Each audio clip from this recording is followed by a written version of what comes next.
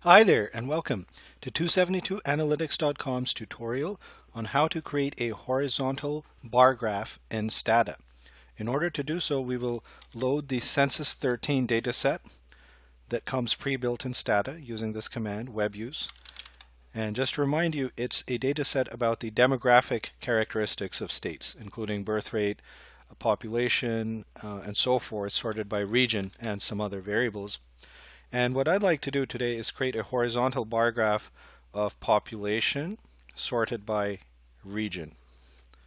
Now, before I create the horizontal bar graph, I'm going to show you the default, which is vertical, using this code here. Let me highlight that for you. It's graph bar, which we can think of as uh, you know, here is where you're going to put h bar in a minute, just so you know, uh, followed by your dependent variable or your variable of interest, population, over region. So let me type in the other code right below that so you can see it. So bar just became h bar for horizontal bar. And so now we went to this. So we went from vertical orientation to a horizontal orientation here.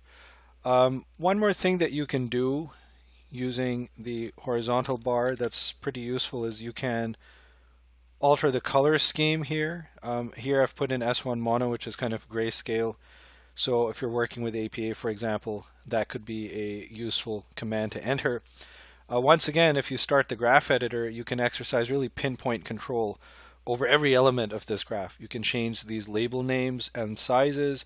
You could identify specific uh, graph over here, a specific bar, and change its color if you wanted. You could change this text over here.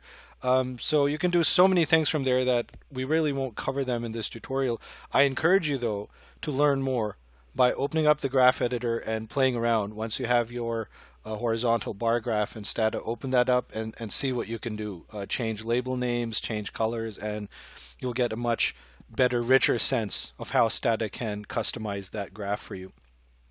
In closing, I'd like to just quickly note that the bar graph and the horizontal bar graph are not going to be very useful for analytical purposes. You're missing confidence intervals, you're missing outliers, and so I would recommend that you look at commands like a CI plot, uh, commands like the box plot in Stata to get the kinds of graphs that are more appropriate for statistical, for quantitative analysis.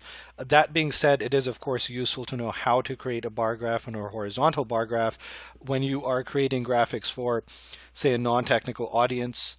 Uh, you just want to just quickly convey the sense of how something is distributed and you are dealing with a population, an audience that doesn't know you know what confidence intervals are or is confused by that kind of thing, the bar graph and horizontal bar graph functions are pretty easy alternatives to use there. I hope this tutorial was helpful to you and I would like to invite you to visit 272analytics.com for access to all our free statistics tutorials in Stata, SPSS, R, eViews, and Minitab. Here at 272analytics.com, we provide data consulting primarily to graduate students.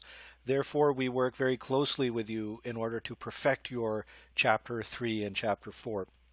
That means helping you design surveys, uh, getting your data input, assisting you with fashioning appropriate research questions and hypotheses, uh, getting your data, extracting them, transforming them, cleaning them, uh, putting them through analysis, uh, interpreting them, explaining them to you, so that at the end of the day, you know exactly what story your data tell, why they matter, what they mean, in a manner that lets you write a, a perfect chapter four, uh, following a perfect chapter three, and lets you defend your dissertation or thesis with complete confidence.